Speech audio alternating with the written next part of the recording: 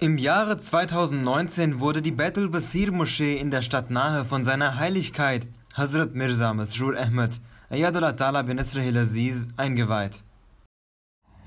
छोटा गांव होना या बड़ा शहर होना कोई अहमियत नहीं रखता असल चीज़ तो वहाँ के लोगों का अखलाक और उनका आपस में मेल जोल रखना है और इस बात को समझना है बल्कि छोटी जगहों पर सादगी और अखलास ज़्यादा होता है Am 14. Juni 2011 wurde durch seine Heiligkeit der Grundstein für die, für die Basir, das heißt der Alleinstehende, also ist ein Name Gottes, für die Basir-Moschee gelegt.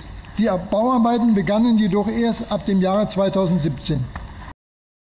Fast zwei Jahre später wurden nun im Oktober dieses Jahres die Erschließungsarbeiten in der neu entstehenden Siedlung Mehdiabad fertiggestellt.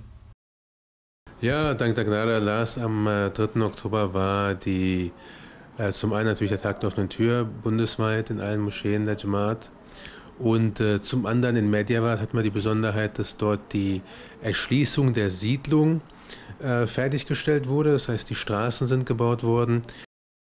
Die Jamaat kaufte den Bauernhof mit rund 20.000 Quadratmetern Ackerfläche bereits im Jahre 1989.